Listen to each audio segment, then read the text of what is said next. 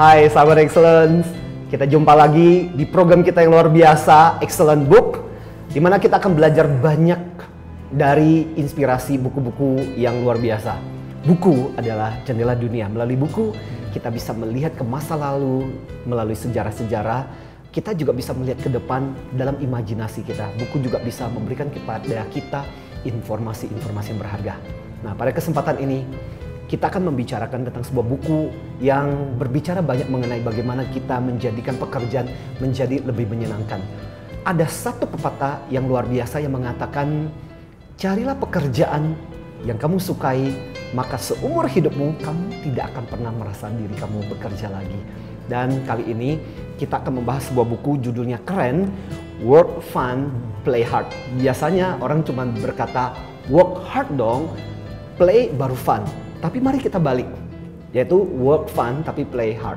Ya, uh, apa yang menarik dari buku ini? Kita akan berbicara langsung dengan penulisnya, yaitu Pak Sugianto Tan yang sudah hadir di studio kita kali ini. Ya, Pak Sugianto. Halo Pak Antoni. kehadiran yang luar biasa. Gimana kabarnya? Salam fantastik Pak. Fantastis ya. Terima kasih sudah mau menghadirkan diri okay. di studio ini. Pasti saya yakin uh, sahabat excellence akan merasa uh, terhormat merasa akan terinspirasi bisa mendengarkan dari Anda uh, soal buku yang luar biasa ini ya. Dan boleh dong saya mau bertanya-tanya, ngobrol-ngobrol nih. Yes. Saya mulai dengan uh, pertanyaan yang sederhana. Apa yang melatar belakangi munculnya buku ini? Galau. Galau ya. ya. Jadi maksudnya gimana nih? Jadi satu hal gini, kalau apa yang saya alamin ya. selama saya menjadi seorang profesional, mm -hmm itulah yang saya ngelihat sekarang tantangannya yang terjadi di depan mata kita. Hmm, dan ya. menurut saya banyak hal yang bisa kita perbaikin dan itu lebih menyenangkan. Oke, jadi banyak profesional yang sering kali berkeluh, aduh, I hate Monday, apalagi kalau harus bekerja gitu ya. Hmm. Tapi kalau hari Jumat, yeah, yes, thank God it's Friday gitu ya. Okay. Itu yang sering kali terjadi. Jadi itu yeah. latar belakangnya menulis buku ini ya. Iya, latar belakangnya okay. di sana. Nah, khususnya setelah Pak Antoni. Ya. Dalam satu tahun terakhir, mm-hmm. saya mhm. banyak berkecimpung dengan anak-anak muda di Indonesia. Okay. Ya. Saya banyak melihat mereka memiliki kemampuan yang luar biasa. Mm-hmm daya potensi mereka luar biasa. Iya. Nah satu aja, iya. pada waktu mereka sudah bekerja di tempat yang menurut saya itu luar biasa, wonderful, tempat mm. kerjanya luar biasa. Mm. Tapi sering kali dream job gitu ya. Dream, dream job. Harusnya yeah. kalau orang lihat ini dream job gitu ya. Yeah. Tapi pada waktu kita bertanya lebih jauh, mm. mereka bingung untuk nasibnya ke depan. Mm. Jadi ada kegalauan di mereka. Okay. Dan itu yang membuat hati saya galau untuk segera yeah. menulis buku ini. Buku ini supaya bisa menginspirasi mereka ya. Yeah. Bahwa eh harusnya kamu berasa beruntung gitu ya ya. di tempat kerja yang luar biasa kok masih berasa galau gitu ya. ya. Oke. Okay. Karena ada permainannya yang ya. kita harus ketahuin. Seperti hmm. judul ini work fun play hard. Tuh, jadi ada aturannya gitu ya. Hmm. Nah, apa yang apalagi yang melatar belakangi Anda untuk menuliskan kenapa judulnya work fun gitu kan biasanya tadi ya. yang namanya work hard dong okay. play baru fun ya. apa latar belakangnya Mas Sugi satu hal yang menarik adalah gini pada waktu kita melihat ya seorang profesional yang sudah memasuki dunia kerja. Mm -hmm. Banyak dari mereka yang mereka lebih banyak bekerja keras, mm -hmm tetapi belum tentu menghasilkan satu performance yang bagus. Hmm. Jadi akhirnya satu tips yang kita lihat, ya. masa kecil kita sebenarnya menjadi satu cermin kita untuk meningkatkan produktivitas. Hmm. Ada sebuah penelitian Pak Antoni dari ya. seorang yang bernama Dr. Madan Kataria. Hmm, Oke. Okay. Ya. Jadi beliau terkenal di ya. India sebagai seorang yang mendirikan sekolah yoga tetapi dengan tertawa. Tertawa gitu. Ya. ya. Nah, kan yoga biasanya serius, serius. gitu kan. Nah ini yoga dengan tertawa. tertawa. Ya. Hmm. Nah, satu hal yang menarik adalah hmm. penelitian menyatakan bahwa tidak ada orang yang ternyata produktif hmm. kalau ia hanya berkonsentrasi dengan disiplin kerja aja. Hmm. Tetapi penelitian menyatakan bahwa kita harus mengeluarkan energi ceria, ya. kita harus lebih banyak tertawa. Ya. Nikmatin pekerjaan mm-hmm. bukan hanya bekerja sambil di antara waktu kita curi main-main, bukan. Ya, bukan begitu ya. Tapi bekerja itulah bermain. Oh, oke. Okay. Nah ini menarik nih sahabat Excellence. Apakah Anda termasuk orang yang menikmati pekerjaan Anda atau baru menikmati ketika hmm, bos saya nggak lagi nggak ada nih, ah, saya mau ah curi-curi main ah. Baru kemudian Anda merasa diri Anda menikmati pekerjaan Anda. Tapi tadi dikatakan yang menarik yaitu menyitir dari hasil risetnya Dr. Medan Kataria yang memperkenalkan yoga kertawa bahwa ternyata ketika orang bisa enjoy dengan apa yang dilakukan, hasilnya lebih produktif. Kira-kira seperti itu ya. ya. Oke, apalagi ini? Saya tertarik nih. Ini, ya. ini judulnya soal menggelitik soalnya ya. ya. Sampai ini termasuk salah satu buku bestseller ya, ya yang responnya cukup hmm. bagus. Bagaimana respon dengan buku-buku ini, uh, Mas Ugi? Iya, sejauh ini cukup bagus Pak ya. ya. Jadi okay. sesuai dengan yang kita harapkan seba, uh, sebagai sebuah inspirasi untuk Indonesia ke depan. Ya. Mm -hmm apa yang melatar belakangi salah satunya juga adalah ya. pada waktu tahun 2007 nih Pak hmm, Tony. 2007. Iya. Oke. Okay. Jadi sekitar tujuh tahun yang lalu. Tujuh tahun yang lalu. Hmm, yes. Ya. Pada saat itu saya dapat kesempatan untuk belajar sebuah sistem corporate management di Jepang. Ya. Hmm, ya. Oke. Okay. Nah ada seorang profesor Jepang namanya Mr. Furusawa, Profesor Furusawa. Furusawa. Oke. Okay. Nah, menariknya beliau menyatakan seperti ini di Jepang dalam beberapa tahun mendatang, mm-hmm. kami tidak akan mendapatkan sesuatu yang lebih baik dari Anda yang datang dari Indonesia. Hmm. Dan kenapa tuh? Yang dimaksud adalah bonus demografi. Hmm. Apa yang dimaksud okay. dengan bonus demografi? Yeah. Di Jepang pada saat ini hmm. mereka begitu mereka masuk ke usia kerja, yeah. setiap anak muda yeah. mereka harus menanggung beban untuk menanggung beban pajak orang tua yang begitu banyak. Oh, okay. Karena usia yeah. produktif di mereka yeah. itu jauh lebih kecil jumlahnya dibanding usia yang sudah non produktif. Ya? Oke, okay. saking usia ekspektasi hidup yeah. begitu tingginya di Jepang ya. Jepang. Oke, okay. jadi mereka-mereka muda yang harus menanggung mereka gitu ya, Betul, ya dengan yeah. kata lain. Oke. Okay. Dan apa yang terjadi di Indonesia, mm -hmm. Pak Antoni? Di yeah. Indonesia kalau kita lihat banyak sekali ulasan-ulasan di Indonesia menarik yeah. bahwa tahun 2025 sampai 2030 yeah. itulah momentum yang harusnya kita bisa manfaatkan. Mm -hmm. Karena usia mudanya banyak gitu banyak. ya. Dibandingkan Jepang dan sebagainya yes. ya. Okay. Dan jumlahnya Pak Martin luar biasa, Pak. Iya. Yeah. Jumlahnya dua dibanding satu. Wow. Dua okay. orang produktif iya. menopang ya. satu orang non produktif. Berarti sebenarnya nilainya banyak sekali kalau begitu ya sebenarnya ya. ya. Kalau kita lihat nilai nilai apa ya nilai potensialnya ke iya, depan ya. ya. Oke. Okay. biasa. Ya. Jadi itulah yang membuat kita harusnya kita punya kesempatan besar untuk hmm. membuat Indonesia lebih baik, lebih ceria dari hari ini. Hmm. Tuh, dengar tuh, sahabat excellence. Dua banding satu dua untuk orang produktif, satu untuk orang non produktif dibandingkan dengan Jepang. Tadi sudah dikatakan oleh uh, Mas Sugianto bahwa ternyata kita di Indonesia punya potensi yang lebih luar biasa dan harusnya anda-anda yang produktif bisa menghasilkan sesuatu yang luar biasa. Tapi pertanyaannya dong, kenapa anda yang produktif tapi kemudian hasilnya kemudian main play? Hmm. Kenapa hasilnya tidak sebagus yang diprediksi berdasarkan hasil statistik seperti ini? So ini yang tertarik untuk kita bahas. Kita akan mungkin akan membicarakan tentang hal ini setelah yang satu ini Mas Sugianto okay, ya bersama-sama iya. dengan uh, para sahabat excellence. Mari kita obrolkan tentang hal ini. Mari kita bedah lebih lanjut lagi apa sih sebenarnya isi dari buku ini yang bisa menginspirasi Anda. Judulnya adalah Work Fun, Play Hard, 18 langkah praktis menjadi fun profesional. Saya tertarik dengan kata fun profesional. Anda juga penasaran dong? Hei, jangan ke mana-mana. Kita akan obrolkan ini setelah yang satu ini, oke? Okay?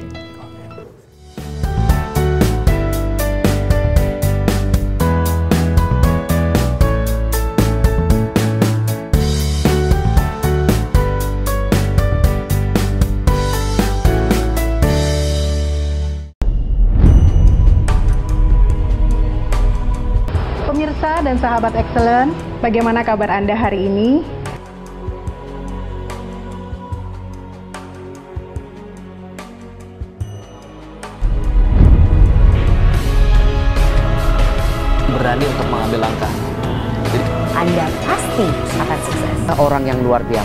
Saya hebat. Saya pasti akan sukses. Bagaimana dengan Anda?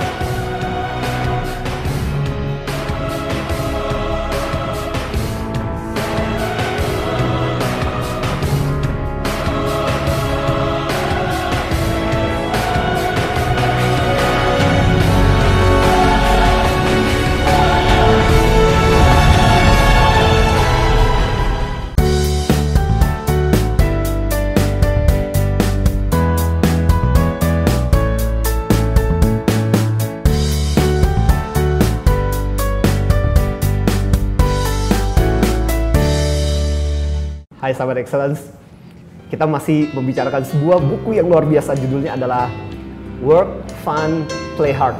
Bagaimana menjadi seorang fun profesional. Keren kan?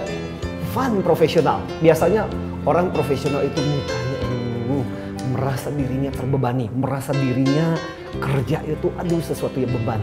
Pada saat ketika habis kerja baru mereka, ya merasa bebas ketika mereka keluar dari tempat kerja. Tapi yuk mari kita dengarkan dong apa sih tipsnya. Apa sih latar belakang dari buku ini ditulis. Boleh Mas Sugianto Tan Ya, yang menulis buku ini ya kita masih ngobrol-ngobrol. Apa sih sebenarnya konten buku ini yang uh, kalau boleh di, di apa ya dikupas secara ringkas gitu. Ringkasnya. Iya. Oke.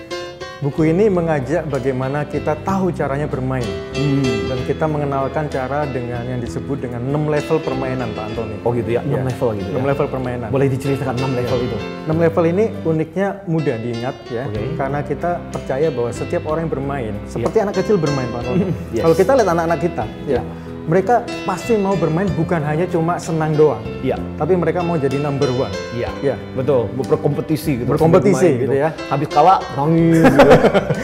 Biasanya mereka ada effort khusus untuk mereka tidak mau melepaskan permainan yang mereka belum belum bisa menangkan dengan baik. Betul, Nah, betul. Itu kita intisarikan bahwa sebenarnya setiap orang memiliki tantangan di dalam hidup ini bagaimana mereka membuat sebuah masterpiece. Hmm, oke. Karena gamenya bermain untuk menciptakan masterpiece, Ya. berarti orang yang bermain harusnya jadi seorang Master. master. Wis. Ya. Untuk itu, enam level permainan kita, Ya. kita singkat dengan kata master. Master juga. Ya, Wis. jadi- Master. M A S T E R. Benar. Oke. ya, thank seperti you. itu. Apa tuh artinya? Ya, master ini dimulai dari mindset, Mindset M. M, Ya. lalu attitude, A attitude. attitude, Oke. spirit, Spirit, talent, talent, energy, energi, dan recycle. wih, dan recycle lagi, ulang lagi. Ulang lagi. Wis. Oke. Kenapa itu harus dilakukan? Karena inti dari permainan ini sebenarnya, Ya. ini bukan cuma kita penyebutan kata-katanya, Hmm. tapi ini adalah sebuah proses yang sebelumnya sudah kita buktikan juga dengan beberapa tokoh yang berhasil menerapkan. Hmm, oke. Contoh. Jadi tokoh-tokoh yang kita teliti waktu itu, Iya. ya, di antaranya adalah tokoh di profesional, Iya. ya. Kalau kita tahu ada nama Pak Teddy Rahmat. Teddy Rahmat. Ya. Ya. saya yakin kebanyakan profesional Indonesia yang sabar excellence yang berkecimpung di dunia profesional pasti tahu dong Iya, Pak Teddy dengan Rahmat. Gitu Rahmat, ya. Betul. Yang kedua kita juga ambil tokoh anak muda, Mhm. itu Agnes Monica. Agnes Monica, Agnes pasti Monica. kenal dong. Ya, Sabar tentunya kenal ya. tahu. Ya, betul. Dan ada tokoh juga di bidang olahraga, Mhm. itu Mas Ade Rai. Ade Rai. Ush. Ya. Ya, oke. Tokoh di bidang pendidikan Pak Yohanes Surya, Surya, dengan ya. Olimpiade Ya, fisikanya. fisikanya, ya. Dan juga tokoh perfilman Bung Deddy Miswar. Wih, jadi variatif sekali ya? Iya. Oke, variatifnya. iya. Ini untuk waktu itu kita uji apakah ini berlaku untuk semua orang dengan Benar, berbagai mereka. macam profesinya. Dan hasilnya adalah Hasilnya pada waktu kita uji ini, yang menarik adalah urutan mereka sukses. Itu mereka mengikuti tahapan kurang 6 lebih seperti level itu. ini. Mulai dari mindset tadi ya? Iya, mindset ini. Oke. Jadi ini buku sebenarnya banyak membahas soal, soal bagaimana master ini seharusnya diciptakan oleh para profesional supaya mereka bisa menikmati apa yang mereka kerjakan Betul. gitu ya. Iya. Oke. Karena apa itu Pak Antoni? Iya. Karena kalau kita lihat gini, kita harus jujur melihat fakta realita yang ada di depan kita sekarang. Apa itu? Berapa banyak kalau kita lihat orang masuk kerja, Yes. tiap hari dicek masuk nggak sih? Masuk. Buktinya absennya ada. Secara fisik mereka hadir, Hmm. Iya. Hadir gitu, hadir ya. present. Present. Hadir, hadir, gitu. Tapi kita harus Iya. lihat juga berapa banyak yang ternyata mungkin kita boleh bilang zombie sudah mulai menyerang zombie. Wah, jadi benar-benar kalau kita boleh pakai CCTV gitu Iya. di depan kamera gitu Iya. kan seperti kayak ah, emotionless gitu ya, tidak Iya. merasakan lagi kegairahan dengan apa yang mereka lakukan. ya. Iya. Kenapa saya ngibarkan seperti itu? Meskipun kalau kita lihat zombie seram sekali ya. Iya. Karena kita ini sebuah warning gitu. Kalau kita melupakan cara bermain yang benar, Iya. pelan-pelan energi dalam hidup kita itu akan habis. Iya. Dan fisik kita, Iya. makin lama kita makin tua. Dan kita kehilangan momentum itu. Iya, betul. Dan saya inilah pikir- saatnya kita betul. bermain. Dan saya pikir Sahabat Excellence ini adalah apa diikan yang menarik dari uh, Pak Sugianto Tan yang menulis buku Work Fun Play Hard ini. Yang menarik adalah tadi dikatakan bahwa kebanyakan dari kita ketika bekerja mungkin makin lama kita makin ter ter apa tererosi spirit kita, semangat kita. Akhirnya kita menjadi seperti zombie-zombie. Tahu ya, zombie bagaimana tanpa punya perasaan, cuman berdiri di depan berdiri atau uh, duduk di depan komputer melakukan tanpa sebuah spirit. Karena kita ya cuma hanya melakukan pekerjaan karena ini merupakan tugas kita, tapi sama sekali kita bisa tidak menikmatinya. Itu yang terjadi ya. Hmm. Apalagi nih? Ya. Ini semakin menarik nih. Ya, kita ambil lebih Ya. dalamnya karena di dalam 6 level ini ini Ya. kita menganjurkan untuk membaca buku ini seperti bermain. Hmm, oke. Dan ini agak susah tantangannya, tapi bukan tidak mungkin. Ya. Ya. Apa itu? Tantangannya begini, pada Ya. waktu membaca buku ini kita Mhm. harus memperlakukan diri kita seperti anak kecil. Oke. Ya. Supaya spiritnya muncul gitu ya. Iya, karena Ya. gini, banyak orang yang mengukur dirinya pada waktu kondisi kita sekarang. Mhm. Padahal masih banyak momentum yang ke depan yang kita bisa lihat itu besar sekali kita temukan potensi diri kita yang belum tergali. Oke, iya. Setuju. Caranya adalah di dalam buku ini kita bagi tips-tips praktis Pak Antoni. Oke. Di dalam setiap level dari Ya. enam level itu Ya. nanti ada tiga tips praktisnya yang fun. Yang bisa mereka kerjakan, yang, Yang bisa dilakukan kerjakan. oleh para pembaca kita ya. Betul, iya. Oke. Nah, sebelum kita bicara tentang tips-tips tersebut ya, Iya. kita simpan dulu nih. Nah, apalagi yang melatar belakang yang ada di dalam konten buku ini yang kira-kira bagus untuk diketahui oleh para sahabat excellent kita karena saya yakin kebanyakan dari teman-teman kita yang menyaksikan acara ini kan Iya. latar belakangnya adalah pekerja. Pekerja. Dan keluhan yang terbesar dari mereka yang bekerja adalah Pak, saya merasa bosan Pak dengan pekerjaan saya. Saya perlu quit nggak? Saya perlu cari pekerjaan yang lain nggak? Saya perlu jadi seorang pebisnis entrepreneur atau Iya. tidak dan sebagainya. Dan Iya. itu pertanyaan yang sering kali muncul. Saya sebagai uh, trainer, sebagai coach, sebagai orang yang mendampingi kadang-kadang ditanyakan seperti itu. Nah, mungkin dari buku-buku ini juga mengupas hal seperti itu Mas Wianto. Ya, luar biasa Pak Tony. Ya. Jadi salah satu tantangannya adalah lewat buku ini kita akan belajar bahwa setiap kita itu memiliki pilihan. Iya. Ya. Dan yang- pilihan ya. Pilihan. Ya. Dan yang menariknya saat ini di Indonesia memang kita kurang dengan yang namanya entrepreneur. Hmm, oke. Ya, wirausaha itu Ya. sangat kurang. Jumlah kita masih jauh di bawah angka normal yang harusnya ya kita kurang lebih miliki ya. 2% ya. Iya, dengan populasi jumlah populasi, yang Populasi kita kita miliki ya. sekarang. Hmm, Betul. Tapi apa yang terjadi? Ya. Ya, sebenarnya kita setiap orang tidak harus menjadi seorang wirausaha. Mhm, Jadi nggak harus jadi pebisnis gitu Tidak ya. harus jadi pebisnis. Karena banyak orang mindsetnya adalah saya mesti Ya. jadi pebisnis, saya mesti jadi entrepreneur gitu Iya. ya. Kenapa Pak? Mhm. Karena setiap orang harusnya punya bisnis sendiri. Hmm. Dan bisnis itu adalah pada saat seorang profesional pun Iya. mereka harus memiliki bisnis itu di dalam karir mereka. Begitu. Tapi bukan berarti harus kerja sampingan gitu Bukan, ya. justru bukan. Justru Ya. ketika dia melakukan pekerjaannya, Ya. dia melihat itu dan merasakan itu sebagai bagian dari bisnisnya Ya. dirinya ya. Dan Ya. karir itulah bisnisnya dia. Benar, gitu ya. Jadi ini apa yang saya ungkapkan adalah bicara dari apa pengalaman saya selama 18 tahun saya di Oh, dunia ini menarik, profesional. ya. Ya. Mhm. Saya mengalami bahwa apa yang ditakutkan orang-orang profesional Iya. itu harusnya tidak terjadi. Pada Mhm. waktu kita bisa bermain dengan benar, kita menikmati bekerjanya sesuai dengan tiga hal. Yang Oke. pertama adalah sesuai dengan passion kita tentunya. Iya, iya. Yang kedua Passion. kompetensi kita. Oke. Dan yang ketiga kita harus jeli melihat peluang bagaimana perusahaan sedang membutuhkan sesuatu talent. Oke. Jadi organisasi lagi butuh apa? Nah Iya. kita harus bisa membaca itu dengan baik. Ya, tadi passion, kompetensi kita Ya, dan peluang yang peluangnya. muncul dari organisasi Ya. itu ya. Oke, karena kebanyakan ya itu tadi karena mungkin mindsetnya udah merasa bahwa ah ini kan punya orang lain, Hmm. ah paling yang kaya bos saya, Betul. ah paling kalau kita kerja setengah mati ya PGPS pinter geblek pendapatan sama gitu kan biasanya kan seperti itu. Betul, ya. Oke, tadi dikatakan yang bagus adalah temukan satu di Sabar Excellence passionmu ada di mana, dua apa kompetensimu, yang ketiga adalah sesuaikan dong dengan apa peluang-peluang yang sebenarnya kesempatan yang tercipta di organisasi Anda. Uh, luar biasa. Nah, eh, saya tertarik untuk mendapatkan tips dari Mas Sugianto Tan juga. Tadi dikatakan hampir di setiap bagian itu ada tipsnya. Tapi kelihatannya kita harus break dulu. Setelah break yang satu ini, kita akan obrolkan lagi juga soal apa tips-tips yang berharga yang bisa Anda dengarkan. Jadi jangan ke mana-mana di segmen yang terakhir, kita akan bahas di dalam buku yang luar biasa yang berjudul Work Fun, Play Hard ini bersama penulisnya langsung Mas Sugianto Tan yang bukunya bisa juga Anda dapatkan di toko-toko terdekat, toko buku terdekat di tempat Anda masing-masing ya. Yang ke mana-mana loh ya, masih ikuti terus karena kita akan mendengarkan tips. Saya aja masih penasaran, masa Anda nggak penasaran? Oke ya, kita dengarkan tentunya setelah yang satu ini. Thank you.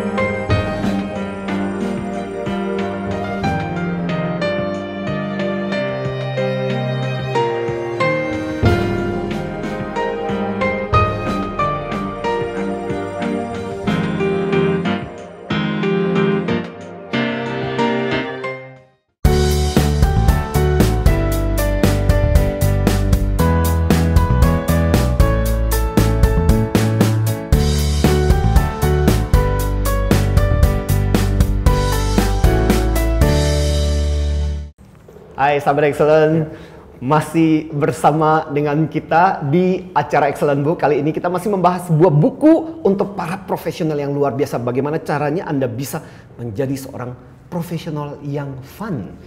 Bukunya adalah keren, Work Fun, Play Hard bersama penulisnya langsung yaitu Mas Sugianto Tan yang menjadi tamu kita di studio kita kali ini. Nah, Mas ya. Sugianto karena kita masuk ke dalam segmen kita yang terakhir nih.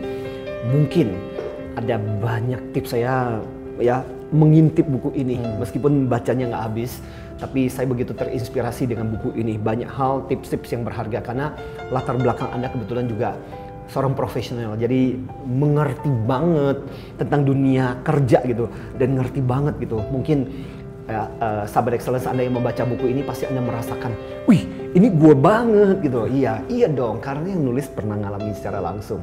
Nah dari Mas Sugianto Tan sendiri mungkin ada tips barangkali yang bisa disampaikan kepada uh, teman-teman kita sahabat-sahabat excellence kita? Ya. jadi sahabat excellence satu hal yang menarik di dalam proses karir kita yakinlah bahwa karir adalah bisnis kita yang paling luar biasa untuk kita selamatkan. Kalau kita kita beranggapan bahwa karir harusnya bisa membawa sebuah kesejahteraan bagi hidup kita, itu bukan suatu hal yang tidak mungkin. Selama kita mampu memenangkan karir kita dengan menyenangkan. So, selamatkan karir kita dengan cara bermain yang benar dan jadilah business owner terhadap karir kita. Itu, Pak. Wis saya suka dengan istilah ini karena kebanyakan orang nggak punya paradigma mindset yang seperti itu ya. Mindsetnya udah salah gitu loh. Okay. Mindsetnya sejak awal itu tadi. Kebanyakan saya yakin uh, teman-teman yang sahabat-sahabat excellence banyak di antara anda pasti punya pikiran. Ah yang punya orang lain, hmm. ah yang nanti kayak bos-bos saya, yes. ah ngapain saya mesti bekerja keras untuk itu. Hmm. Dan kita tidak melihat karir itu sebagai bisnis. Menarik loh, saya merasa yeah. sangat tergelitik. Saya pikir ini adalah sebuah kelitikan yang sangat bagus buat kita bahwa si Your career as your business, bukan bisnis bos Anda, bukan bisnis orang lain, bukan datang kerja karena ya. disuruh sama istri, disuruh sama bini untuk bekerja, tapi karena Anda betul-betul melihat itu sebagai bisnis Anda ya, gitu ya. Benar, Dan saya pikir itu adalah bagian pertama untuk mengkoreksi karena kebanyakan kita datang ke tempat kerja nggak merasakan itu gitu. Betul. Ya. ya. Makanya jadi nggak fun gitu ya. Iya, karena mindsetnya udah salah. Dan yes. mindset tadi permainan level 1. Baru level 1. Baru level ya. 1. Baru setelah mindset masih ada yang attitude, ada attitude, spirit, ya ada spiritnya, talent, ada talentnya. Dan kalau ini dikelola menjadi sebuah energi, ya. dan energi itu nanti tidak akan berhabisan karena apa? Kita recycle, recycle lagi. lagi gitu ya. menjadi ya. daur ulang karir yang luar biasa. Hmm. Mungkin ada cerita, hmm. ada satu hal yang bisa menginspirasi juga untuk para ya. sahabat excellence kita uh, dari Mas Ugi gitu. Ya. Jadi satu cerita gini, banyak orang yang pada waktu mereka sekolah, ya. mendapatkan pendidikan, pada waktu mereka bekerja, ya. belum tentu mereka menyintai pekerjaannya. Hmm. Ya. Okay. Karena apa? Karena bidang pekerjaannya yes. itu adalah sama dengan yang mereka pelajarin. Ya. Tapi sebenarnya itu belum tentu passion mereka, Pak Anton. Ya, karena disuruh bisa jadi ketika mereka mereka ketika sahabat excellence ya mungkin ya. ketika mereka sekolah, ketika ya. mereka kuliah karena disuruh sama sama orang tua Betul, karena teman-teman ayolah ayo dong kamu kuliah ini dong ya. bagus ini kuliah hmm. lagi ini eh ya. kamu kuliah yang lain nggak punya teman dong udah nih bareng-bareng ya, itu terjadi dan bahayanya perusahaan pun kan tidak hmm. mau membeli kucing dalam karung. Betul. Mereka bisa melihat ijazahnya dari yeah. background pendidikan apa. Betul. Nah kalau ini sudah terjadi, yeah. ya sering kali kita mendapatkan adalah orang-orang yang rata-rata performance. Hmm. Jadi terjerembab masih makin jauh gitu yeah. ya. Udah kuliah misalnya contoh dia memilih masuk ke let's say katakanlah dunia komputer. Betul, Karena teman-temannya isinya semua ayo dong hampir komputer loh. Yeah. Sekarang lagi booming nih. Betul, Nanti masa depan akan seperti itu tapi passionnya nggak di sana. Hmm hobinya sebenarnya misalnya katakan artistik misalnya hmm. entertainment yeah. tapi karena disuruh sama teman-teman ya saya ikut deh gitu loh hmm. dan akhirnya setelah lulus kemudian jadilah Betul. programmer yes. masuklah ke dunia IT gitu ya yeah. oke okay. nah apa sa mungkin hmm. saran-saran dari yeah. Mas Sugianto mungkin untuk sahabat excellence kita yeah. yang seperti itu jadi apa yang saya alamin sahabat excellent adalah sebuah peristiwa di mana saya memilih di awal untuk karir itu memulailah dengan sebuah misi. Hmm, ya, okay. Dan jangan pernah mengukur kemampuan kita ke depan itu berdasarkan apa yang sudah pernah kita pelajarin. Hmm. Karena apa yang sudah kita pernah pelajarin itu hanyalah kompetensi kita. Tapi masih banyak potensi yang luar biasa yang kita bisa gali. Dan jangan takut pada waktu kita ngadapin sebuah tantangan, memasukin profesi yang berbeda dengan latar pendidikan kita sebelumnya. Sebagai contoh Pak Martin, Yes. uh, background saya adalah teknik, Oke. tapi terakhir saya profesinya adalah psikopat. Oh iya. Gitu ya. Iya. Lebih banyaknya ngurusin psikopat-psikopat gitu maksudnya ya. Apa artinya Oh, Jadi psikopat? psikopatnya sendiri gitu. Psikopat adalah kepanjangan psikologi teknik. Oh, oke. Jadi selama tujuh tahun lebih saya banyak di bidang teknik, di improvement, di engineering, di Oh, quality. Oke, ya. namanya psikopat gitu ya. Berarti di tekniknya kepake. Iya. Tetapi dari awal passion saya, misi saya, Iya. ya itu saya pilih bagaimana saya bisa mendevelop sesuatu untuk orang lain, tidak hanya Wah, untuk Oke, diri kita. karena misinya adalah menginspirasi, orang Inspirasi gitu ya. ke sana. Hmm, itu kesenangan oke. saya mulai saya SMA saya temukan. Yes. Ya, meskipun saya belum tahu caranya bagaimana. Iya. Apalagi pada waktu SMA saya memiliki beberapa problem, salah satunya problem communication di sana. Ya. Mhm. Oke. Nah, di situlah justru asiknya. Kalau kita tahu cara bermainnya, Iya. ya, maka kita dapat temukan justru di- diri kita the real me, ya Iya. seperti apa. Ya, jadi bukan cuma pura-pura. Iya. Dan kita merasa bahwa seperti kayak ikan lagi ya, berada di tempat yang tepat, Yang tepat. dia bisa berenang gitu ya. Bukan ikan ditaruh di atas pohon Betul, gitu loh. iya. Mati dia. Mati. Jadi ikan asin dia. Dan satu Ya. kunci unsur kreativitas itu sangat penting di dalam karir. Oke. Dan kunci kreativitas hanya bisa Hmm. dibangunkan itu ternyata lewat energi yang ceria. Oke. Jadi kalau energi kita sudah mampet, kita tiap hari cuma stres gitu ya. Iya. Gimana kita nggak kreatif? dapetin, nggak bisa kreatif. Nggak mungkin kreatif. Ya. Dan penelitian luar biasa, mengejutkan Pak Martin. Apa itu? Kalau kita tahu sebuah penelitian dilakukan Josh Clark dari NASA ya, menyatakan bahwa anak balita Iya. itu 98 persennya itu kreatif. Kreatif gitu ya. Semua jadi mainan Ya, gitu. 98 persennya kreatif. 98 persen. Orang dewasa bagaimana? Berapa itu? Ternyata hanya 2 persen, sahabat excellent. 98 persen tinggal sisa jadi 2 2%. Kebayang nggak Ya. sahabat excellence? Nah, jawaban bagusnya, jawaban baiknya untuk sahabat excellent sekalian adalah bahwa ternyata kreativitas itu tidak perlu dibangun. Karena kreativitas sudah ada di dalam diri kita. Iya. Temukanlah kreativitas itu dengan cara bermain yang benar. Oke. Karena sebenarnya kita punya unsur anak kecil dalam Iya. diri kita. Kita pernah jadi anak kecil. Tapi dengan berjalannya waktu kreativitas itu hilang ya. Betul, iya. Guru kita, eh kamu jangan boleh kayak begitu. Gambar yang namanya gambar pohon itu warnanya harus hijau, nggak boleh warna yang lain gitu loh kan. Udah di sekolah seperti itu, di rumah sudah, kamu nggak boleh yang namanya ini. Saya masih ingat ada satu kisah tentang uh, James Watt. James Watt itu kan penemu mesin uap. Jadi dikatakan waktu masih kecil si James Watt ini senangnya apa? Senang main di dapur, senang senang. Itu kettle waktu itu kan zaman dulu lah ya. Kan masih pakai arang dan sebagainya. Suka dia tutupi sampai uapnya itu nggak bisa. Sampai dimarahin sama neneknya. Oke. ini anak kamu tuh masihnya main di luar bukan main di dapur. Ini bisa kettle bisa rusak dan sebagainya. Untung akhirnya neneknya tidak berhasil meyakinkan. Coba kalau neneknya berhasil meyakinkan si James Watt ini untuk bermain di luar akhirnya mungkin kita tidak akan pernah ketemu yang namanya kapal uap dan sebagainya so saya pikir ini sangat penting ya Iya. uh, Mas Sugianto ya bahwa kadang-kadang kita kehilangan spirit untuk berekspresi spirit kreativitas kita ya. Ya. Jadi buku ini sebenarnya sederhana. Marilah kita bermain. Ya. Tetapi pada waktu kita membaca buku ini, lakukanlah latihan-latihan bermainnya yang asik. Ya. Seperti seorang anak kecil yang lagi bermain PlayStation ataupun permainan Ya, lainnya. tapi mereka begitu enjoy. Begitu enjoy. Yes. Dan mereka tidak mau berhenti sebelum mereka dapetin yang mereka rasa mereka paling paling bisa jadi the best. Wow, luar biasa. Thank you, uh, Mas Sugianto. Saya pikir ini sebuah inspirasi yang sangat menarik untuk para uh, pemirsa kita, untuk sahabat excellence kita. So, sahabat excellence pada kesempatan ini, ya, saya sangat menganjurkan anda, anda punya kesempatan bacalah buku ini. Kalau anda merasa jenuh, anda merasa tidak punya gairah lagi, anda kehilangan passion anda di dalam pekerjaan anda, read this book. Ya, work fun, play hard. Anda bisa temukan di toko-toko ter, toko buku terdekat di tempat anda masing-masing.